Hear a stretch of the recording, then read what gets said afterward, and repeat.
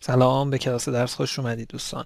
خب امروز می‌خوایم در مورد روش گاوس جردن برای حل دستگاه معادلات صحبت بکنیم. روش گاوس جردن خیلی شبیه به روش گاوس هستش که توی ویدیوی قبلی در موردش صحبت کردیم اما در حقیقت کامل شده اون روش هستش و یه جورایی تکمیل می‌کنه ادامه میده کار روش گاز رو. خب برای اینکه ببینیم روش گاز شدن چی کار می‌کنه بیاید همون مثالی که توی ویدیوی قبلی حلش کردیم رو دوباره برای خودمون بنویسیم و بیایم روش, روش گاز شدن رو روی همون دستگاه معادلات پیاده بکنیم. دستگاه معادلاتمون این بود. داشتیم دو x یک به علاوه 4x2 به علاوه 6x مساوی با 18 این اولین معادله بود. معادله دوم چی بود؟ 4x1 به علاوه 5x2 به علاوه 6x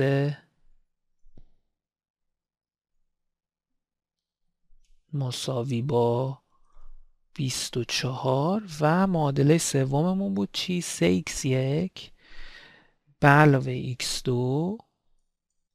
منهای 2x مساوی با چند بود؟ 4 خب این دستگاه معادلاتی بود که قبلا هم باش کار کردیم. خب روش گاز چیکار می‌کرد؟ میومد اول یک ماتریسی تشکیل می‌داد که بخش اولش همون ماتریس ضرایب بود یعنی دو چهار شیش چهار پنج شیش و سه یک منفی دو. پس این تیکش ماتریس ضرایب بود. یه ستون هم میومد این کنار اضافه می‌کرد که ثابت های سمت راست معادلاتمون بود. یعنی 18 24 و 4 خب بعد میومد چیکار می‌کرد روش؟ گاوس میومد از سطر اول و درایه اول شروع می‌کرد. هر سطر اون سطر رو توی اعداد ثابتی ضرب می‌کرد و به سطرهای زیرش اضافه می‌کرد تا بیاد درایه های زیر این درایه انتخاب شده رو صفر بکنه. بعد که این کار رو برای سطر اول انجام می‌داد میومد سراغ سطر دوم و درایه دوم و میومد سطر دوم رو توی عددی ضرب می‌کرد به سطر سوم اضافه می‌کرد تا درایه زیر این یکی درایه انتخاب شده رو هم صفر بکنه.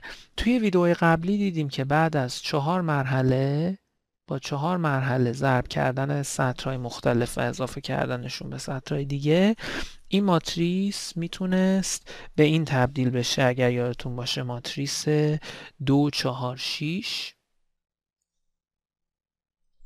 هیچده. سطر دومش بود صفر منفی سه. منفی 6 و منفی 12 و سطر سومش هم بود صفر صفر منفی یک و منفی سه.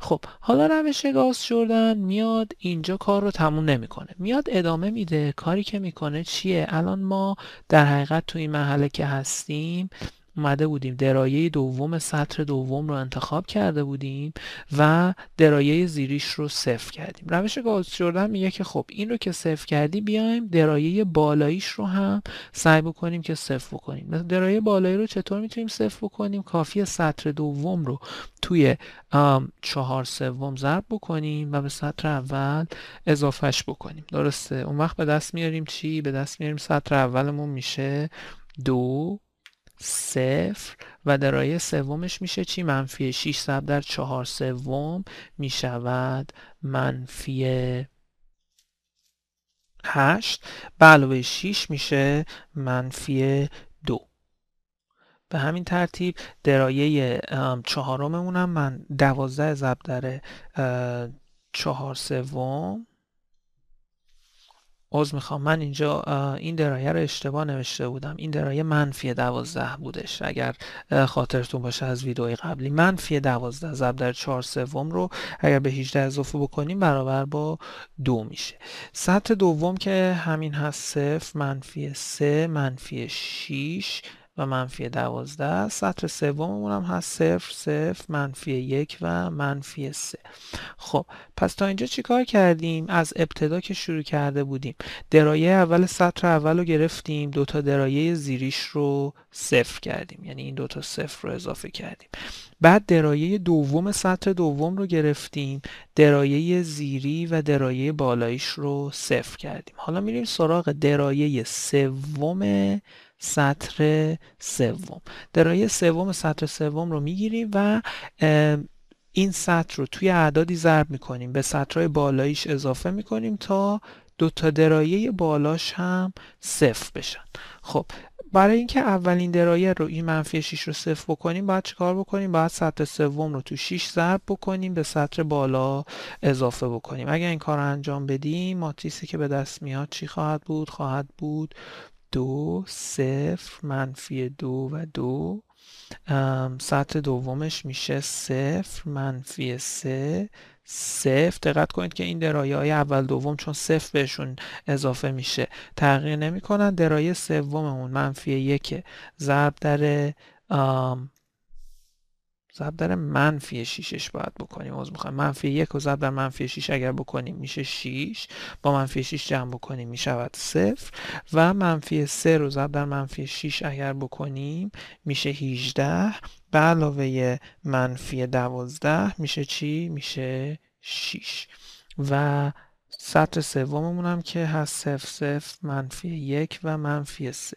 خب اولی رو صفر کردیم. حالا بیایم این درایه رو اگر بخوایم صفر بکنیم چیکار می‌کنیم؟ میایم سطح سوممون رو توی منفی دو ضرب می‌کنیم و اضافه می‌کنیم به سطر اول. اون وقت چی به دست میاریم؟ به دست میاریم دو صفر و صفر. و درایه چهارم میشه چی؟ منفی سه ضرب در منفی دو میشه 6 به علاوه دو می‌شود 8 سطر دوممون هست صفر منفی سه صفر و شیش. و سطر سوممون هست صفر صفر منفی یک و سه. خب پس تا اینجا می‌بینید کاری که روش گاس جردن اومده کرده میاد کاری می‌کنه که این بخش اول ماتریسمون که در حقیقت در ابتدا ماتریس ذرایبمون بود این بخش کاری می‌کنه که به فرم قطری در بیاد. میاد دونه دونه درایه های روی قطر اصلی رو می‌گیره. یعنی اول این دو رو گرفتیم بعد پنج رو گرفتیم بعد این منفی دو رو گرفتیم. و چیکار کردیم؟ حتی درسترش اینه که من بگم اول دو رو گرفتیم.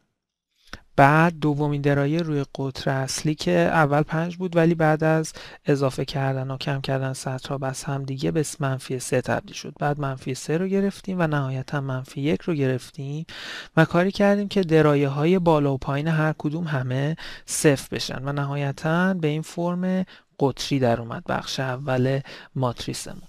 نهایتا آخرین مرحله از روش گاس جردن میگه که این ماتریس رو که داریم کاری بکنیم که این بخش قطریش درایه های روی قطر اصلیش همه یک بشن. برای اینکه این کار رو بکنیم چیکار می‌کنیم؟ میایم سطر اول رو ضرب می‌کنیم در یک دوم. برای اینکه این دو رو به یک تبدیل بکنیم. سطر دوم رو ضرب می‌کنیم توی منفی یک سوم و سطر سوم رو ضرب می‌کنیم توی منفی یک. اون وقت ماتریسمون به چی تبدیل میشه؟ میشه یک صفر صفر هشت ضرب در یک دوم هم که میشه چهار. سطر دومش میشه صفر یک صفر و شیش ضرب در منفی یک سوم که میشه منفی دو. و سطر سوم هم می‌شود صفر صفر یک و سه درسته؟ ببخشید. این اینجا هم منفی سه ما داشتیم از قبل. من اشتباه سه نوشته بودم. پس می شود صفر صفر یک و سه. وقتی که توی منفی یک ضربش می‌کنیم. خب حالا چه اتفاقی افتاد؟ یه اتفاق خیلی جالب افتاد. چون این چیزی که الان ما داریم این ماتریسی که داریم دستگاه معادلات متناظرش رو اگر بنویسیم جواباش با معادلات اولیه‌مون یکیه. چون تنها کاری که ما کردیم اومدیم معادلات مختلف رو تو اعداد ثابت غیر صفر ضرب کردیم. و به همدیگه اضافهشون کردیم. ولی این دستگاه متناظرش اگر بنویسیم خیلی راحت میشه. چون اولین معادله میشه x1 مساوی با 4 دومین معادله میشه x2 مساوی با منفی 2 چرا؟ چون ضرایب مثلا x1 و x3 توی معادله دوم صفره و ضریب x2 هم یک هستش. و سومین معادله میشه چی؟ می‌شود x3 مساوی با یک. یعنی در حقیقت جواب کل دستگاهمون رو ما اینجا به دست آوردیم.